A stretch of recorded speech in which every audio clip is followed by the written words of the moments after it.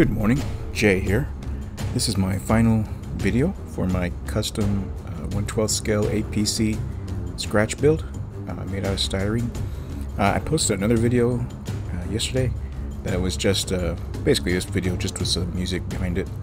Um, I just kind of wanted to put out a first video just with with uh, just showcasing the vehicle itself, but in this one I'm just going to go in a little more depth into explaining the process and what everything is.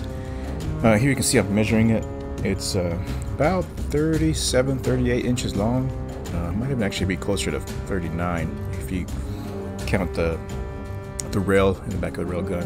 It's about 12 inches wide, and here in a second it's about 12 inches tall from wheel to the top of the rail gun itself. So I think it's actually pretty big. Uh, later in the video I'm gonna have a picture where I show that the uh, the size comparison to some other um, uh, figures. Um, but yeah, it's all done. Painted it up. I've weathered the inside and outside. I'll, I'll do a, a, here. Here I'm showing it's actually 12.8 pounds that I weighted, but that's without the the roof and the railgun attached. It's just with the with the actual bottom of the, the vehicle. Uh, it's demonstrating that the uh, the chain gun in the front rotates and it's actually secured on there so you can actually pick up the 12 pound vehicle with it and then the, the sliding egress door uh, opens independently on its own. Uh, this is the right side passenger side of the vehicle. You can see some of the decals. Uh, here you can see that the, the rail gun uh, rotates and slides along the, the rail. Uh, here shortly I'll do a good demonstration of sliding the rail gun all the way back. Um, you can see some of the weathering turned out pretty good, I think. Uh, tried to get it around the areas that would have the most points of contact, like in the rear, the, the wheel, wheel rails, and all the parts that would be scraped and scratched just from normal wear and tear. I'm turning it around now, and you can see some of the decals on the the, pad, the driver's side, the left side of the vehicle, and notice that the wheels are actually moving independently as well, and they work just fine. So it's actually a working vehicle. It can it can ride along and drive here I'm showing that the railgun can move independently on its own, rotate as well as actually slide along the, the, rail at its own. I did a lot of weathering to the rail, the, the rail, to show that the um, you know the rail is commonly scraped just because of the wear and tear. Uh, here I've got these two pins that I used to secure the, the front of the roof down. This is all made of styrene, just, just handmade from scratch. Um, I got another video where I show how the, the railgun attaches and pops in and out real easily, as well as the roof. So if you want to go back and watch that, you can. Uh, here are some more decals on top of the, the railgun, and I'll, I'll, explain these decals here in a second and their meaning. Um, just kind of showing a little bit of the the weathering and giving it that, that look of, of scraping metal because that's kind of what it would be like if it was actually on a rail just like this. The, the paint wouldn't really hold up very much longer. Uh, I'll pop off the hood here real quick and the back of the hood slides into those two uh, square slots and the front is held in by those two pegs. But it's, it's secure, it's not going anywhere, especially if you have the pegs in, it doesn't go anywhere.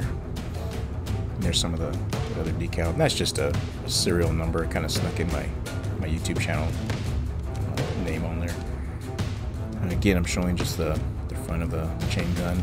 Got some jerry cans up there, a scratch build MRE box. You can see that the uh, the safety harnesses for the seats work still. You can see some of the weathering there on the inside of the of the cockpit. And then I went ahead and put in these uh, fire hydrants that I got off of Amazon, and they slide in and out on their own. And then here's the Lieutenant Gorman's chair and it can rotate 360 as well as slide along its track. And the, the track of the of the seat, I also did some some more weathering just to make it seem as if it's you know it's got a lot of wear and use. And I also weathered uh, the floor where the where people would have like the most where their feet would be, where you would have your boots sitting, uh, just to make it more realistic, as if you know, if this were a real vehicle, that would be the, the most used place. And then again, all these safety harnesses work independently. I've got this little ledge at the top. I think you saw it with the some more MRE boxes. Here I'm just demonstrating that the door is working and showing some of the detail inside the cockpit.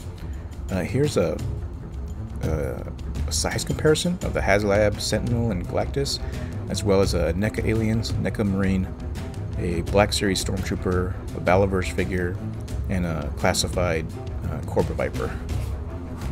So you can kind of get a, a, scale of just how big this thing is. It's, it's, pretty huge. It's bigger than Galactus, and he's already a beast. Uh, looks really good with the troops out in front of it. It scales really well with the NECA figures as well, even though it's intended for a you know 112 scale. That Lambda shield is actually the the company. I'll go back into that in a second. Uh, just kind of showcasing some more of the the weathering. But the, the Rio Grande is actually the name of the, the ship that the the vehicle belongs to. Uh, here's some some decals that I was working on that I actually attached to the vehicle eventually. Um, the Rio Grande is the, and this is what the the nose art was based on, and this is what the some of the decals and the the markings were, were based on. World War II uh, British and American uh, utility vehicles.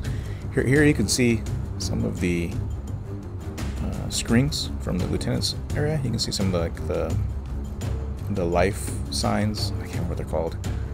Um, I put some, I snuck in some of the movie scenes. There's Hudson, there's Hicks. Uh, snuck in some other scenes and just kind of photoshopped some some words on it. You can see the, the weapons locker right there with a whole bunch of pulse rifles, uh, two flamethrowers, and a smart gun. And on top of it, there's a another motion tracker and a couple of cutting torches. Here's what the, the troop compartment looks like from the inside. And I'm sorry for the, the shakiness, but it was kind of hard to hold this camera inside of the vehicle um, at the same time while holding the flashlight because I was trying to get trying to get it lit up in there. I'm trying to show what it, show, what it would look like from the inside. That's the gunner's chair and the, the A driver's chair. There's some MRE boxes I stowed underneath that chair. And there's some close up of the jerry cans, the MRE box, and some of the detail of the, the engine compartment and the driver's seat. And all of this turned out really good. I'm really happy with how this turned out right here. That's the driver's seat. Uh, some communications equipment. I had a headset that I attached with a with a cord, but I ended up removing it. And again, there's the the vital signs. There's the cutting torches, some backpacks stowed inside Again, the troop compartment. So I got the the the screens are vital signs, some motion trackers, some movies, movies shots.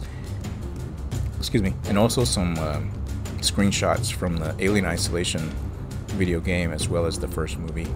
There's some more of the uh, detailing, weathering, and the uh, decals. The front is really beaten up because I wanted it to look. I added some actual putty to it uh, some epoxy, and I wanted it to look like the vehicles, like the AAVs that were used in the last couple of decades, um, that were used for. Oftentimes, they would use them to ram gates, ram walls, things like that. And so I imagine in, in my in my universe, this vehicle has been used to to ram a gate or two, and that's why it's all beat up in the front. Uh, this is a a emblem of the actual Raiders Marines, and I it's a modified to look like with the Colonial Marines uh, image. Uh, the 13th stands for the 13th vehicle. There's a there's an image of the an actual AEV being used to, to ram, a, ram a fence. Um, the nomenclature is the the Rio Grande is the name of the ship that the, the this vehicle would belong to. So like the the Sulaco. Um, it's a nod to Deep Space Nine. Deep Space Nine had all of their their ships named after uh, famous rivers in, uh, in the world, and one of them was the, the Rio Grande. So I just kind of stuck it in. There's my ship. There's the weathered uh, nose art.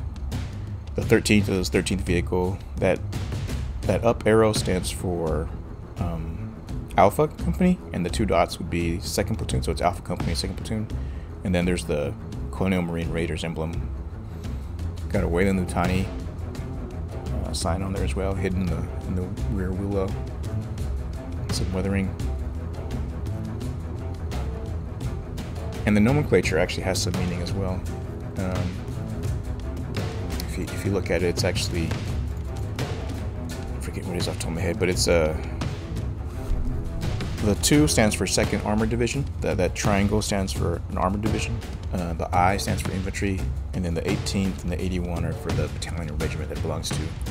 The 16 with a circle is the bridge classification plate, which um, engineers use to get a rough estimate real quick to see if the vehicle can uh, can safely move across a bridge or a road, something like that, because depending on the weight and then the um, 13th on the doors are both the, the, number of the vehicle and the convoy. And yeah, that's it. Everything got Rio Grande. I got the two dots. Um, I'm just doing some more close-ups with the actual troops inside the vehicle. You can see there's classified. There's some Black Series in there, uh, customs, and then there's some uh, Valaverse figures as well. And then here's my own. Uh, he's my stand-in for Burke. James Cameron. James Cameron's kind of known for being kind of a not a nice guy to work with, but kind of made a custom just to give him, me a civilian. And I got my lieutenant there. And I've got my stand-in for Newt as well, which is just this cheap Harry Potter uh, figure I found on AliExpress for like 10 bucks. Um, thinking about kind of customizing it to make it more look like Newt, but that's maybe a uh, project for another day. Not really and that's my stand-in for Ripley. I don't, I don't have a Ripley or Newt yet, but that would be where they sat. And then I also have my android, which is mine has got uh, it's a combat droid based on the the Colonial Marines Fire Team video game. He's that white one with the smart gun sitting in the front door. So it's kind of based off the Working Joe from Alien Isolation, uh, except that he's an actual combat android. And again, sorry for all the shaky canvas. But yeah, just a couple more quick shots of all the interior, just showing the detail everything. But that's it. That's finally finished. Uh, I might do a little bit of minor things here and there, but for the most part, I think this project's going to be retired. I'm pretty happy with how it turned out. Thank you all for watching, and I uh, hope you have a good day.